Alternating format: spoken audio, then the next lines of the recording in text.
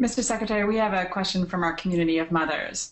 Um, here's the question. We all know that people lead incredibly busy lives and have plenty to worry about here at home.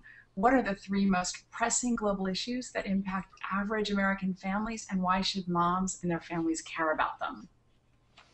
Wow, that. That's a biggie. That's a great question. Uh, well, moms, uh, as we know, predominantly are the great caretakers uh, in families, not exclusively anymore because life is changing. But um, I think overwhelmingly uh, there is this profound concern about children, about how those kids are going to be raised and what their opportunity is going to be, and most of all, they're going to be safe. And I think uh, an issue like environment slash global climate change just leaps out at me as a profoundly important issue for future generations. If they're breathing bad air, if there isn't enough water, if the water's bad, disease, uh, uh, all of these things uh, become major threats, not to mention the fact that if we don't respond adequately to the challenge of global climate change over the course of these next years, uh, there will be people fighting wars over water and over land and agri- you know, agricultural land and other kinds of things. So I think that uh, that is a major challenge of the future.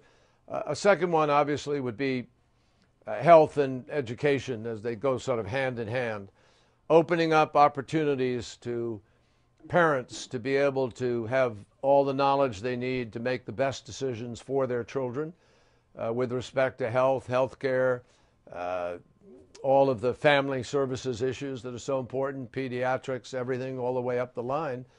Uh, I think uh, we've done a great job of trying to export healthcare around the world, frankly. The State Department is deeply involved in, in the PEPFAR program that tries to prevent AIDS from being transmitted from mother to child in other parts of the world.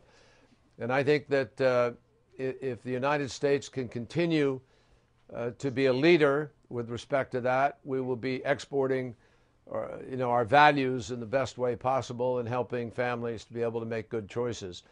And, and you know, the final thing is really security. Uh, you know, no mother, no parent, no father, no grandparent uh, ever uh, wants to bury their children. Uh, that's just not the way it's supposed to work. And I think that uh, making sure that we don't fight wars that aren't necessary, or that we prevent wars that might have been prevented, or that we take actions to try to make sure that our children can grow up in a world which is not threatened by violence, uh, by running in a marathon and losing your life to a bomb.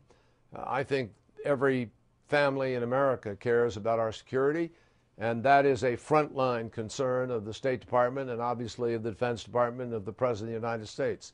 So I think those are three pretty big consequential choices that we get to make uh, every single day.